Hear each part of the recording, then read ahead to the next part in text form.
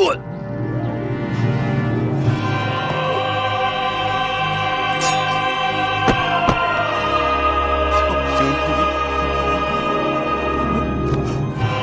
我的好兄弟，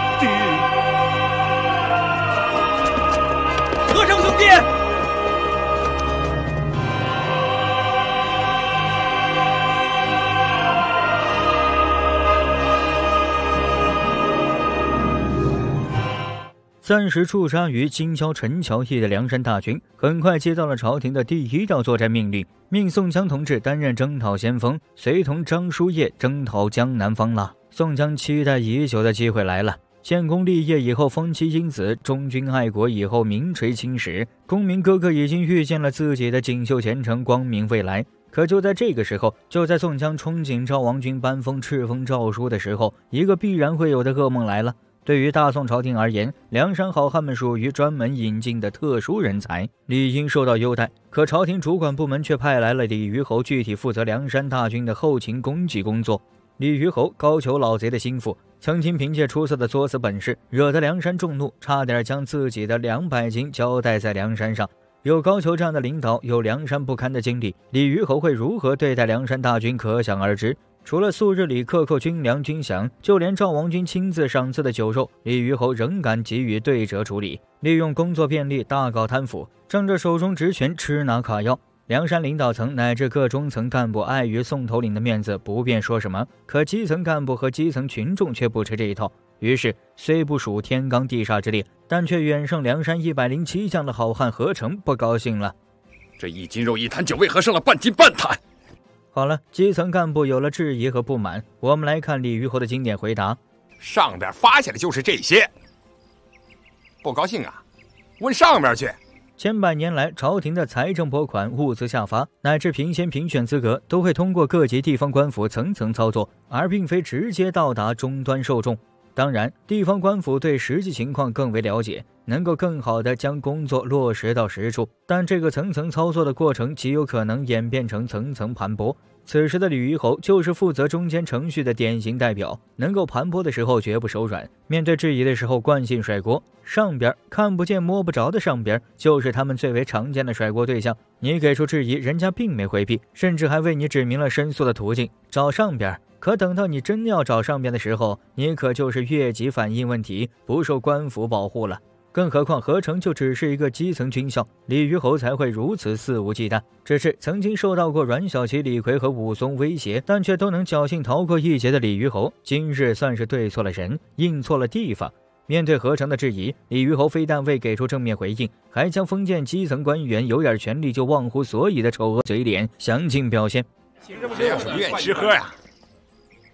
就一边待着去，一边待着去。哎呀，少在这跟我撒泼！甚至李虞侯自认为自己拥有了主场优势，开始羞辱眼前这位好汉。你他娘算什么东西？啊！寡不尽、斩不尽的贼！骂谁？谁说谁？说谁？如今归顺了，你们还是贼性不改！所谓骂人不骂短，可李虞侯就这样直白给出了羞辱，这将严重刺激何成的江湖英雄心。更何况这是大庭广众之下，这是当着手下将士的面，何成断难忍耐，直接抽出了刀，摆出了江湖男儿应对如此情况的必然准备。可今日注定是李虞侯的死期，面对何成的大刀，他仍未停止羞辱，甚至还将激将法推到了一个全新的高度，表情配合着动作，动作配合着语言。我今天把头伸给你。哎，你有胆往这儿来？啊，往这儿砍，敢吗？然后各位看官在林冲那里攒下的窝囊气，终于有了彻底发泄的机会。何成一刀挥去，李虞侯领了盒饭。注意，李虞侯可是高俅的心腹，朝廷的命官。这一刀相当于挑战了朝廷的权威，如果处理不好，恐怕会让梁山面临极为被动的局面，甚至会让招安工作前功尽弃。所以，等到何成砍了李虞侯的消息汇报上去，宋江慌了，吴用惊了。可面对如此突发事件，宋江反倒没了主意。关键时刻还是要看吴用的应急反应。且看吴用给出的第一问：相关们呢？既然这件事将会对梁山造成极坏影响，那么首先应该考虑的问题就是封锁消息，留给自己充足的处理时间。确定李虞侯同行人员的所在，就是为了确认封锁消息的可能性。得知相官们都已跑回城去，吴用知道封锁消息已经来不及了，只能赶紧进行下一步操作。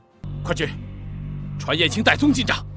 传燕青、戴宗进帐，是为了让两位好汉火速进城，请求苏太尉从中斡旋，争取赶在高俅之前劝说赵王军给予宽恕。既然消息已经走漏，那就应该尽可能争取主动权，避免事态向着失控的方向发展。只是李虞侯毕竟是朝廷命官，苏锦毕竟没有高俅的面子大。目前应该争取的关键性，并非何成的性命，而是尽可能避免这件事影响到招安的大好局面，避免宋江等梁山领导层受到牵连。可尽管如此，吴用还是想再努力一下，争取能够救下何成的命。想到这里，吴用赶紧暗示宋江：“这军校是阮氏兄弟的手下，生性耿直，梁山泊大败高俅时，曾立有大功啊。”注意，吴用的这句话强调了三个关键点：一、强调何成的身份特殊性，何成的背后是影响较大、地位较高的阮氏兄弟；二、强调这件事发生的有情可原，李虞侯对待梁山的敌对态度有目共睹，何成兄弟又生性耿直，这件事的发生甚至有着一定的必然性；三、求情的惯有操作，强调何成的战功，争取一个将功折罪的结果。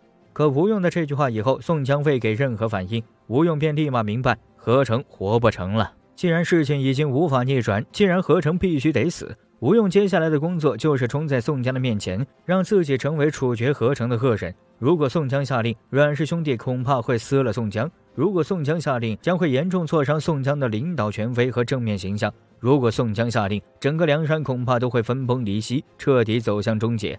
所以，吴用的主动担当，既有对宋江的维护和忠心，更有对梁山的负责和感情。等到燕青、戴宗进帐，吴用让两人转达了梁山领导层对此次事件的处理决定。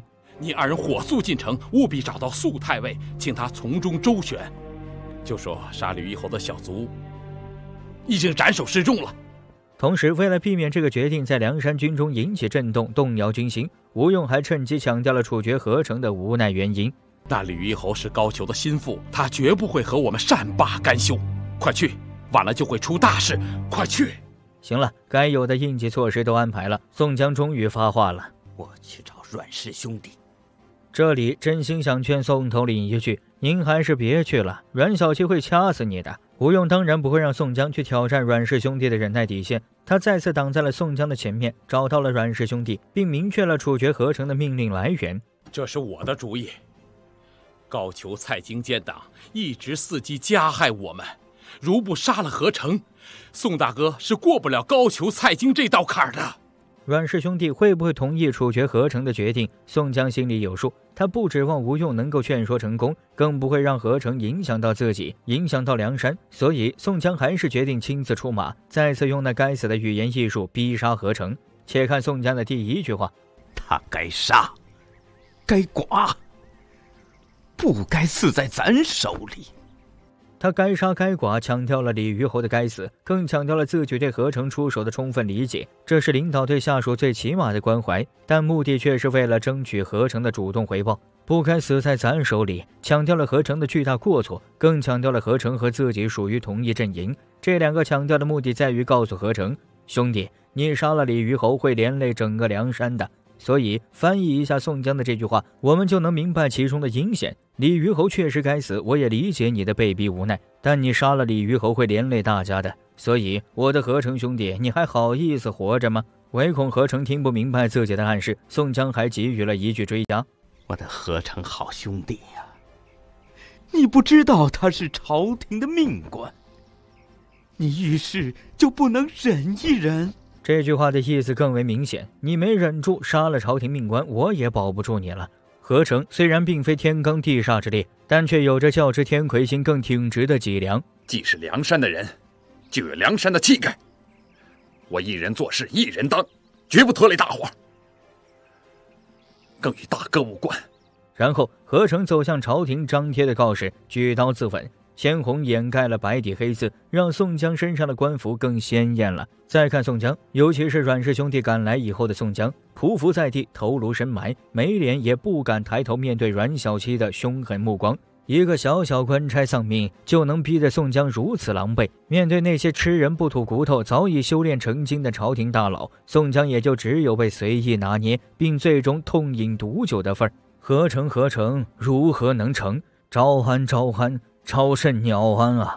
何成死了，整个梁山的脊梁都被打断了。那个快意恩仇、气吞山河的梁山也随之去了。宋江啊，宋江，我看你几时完啊！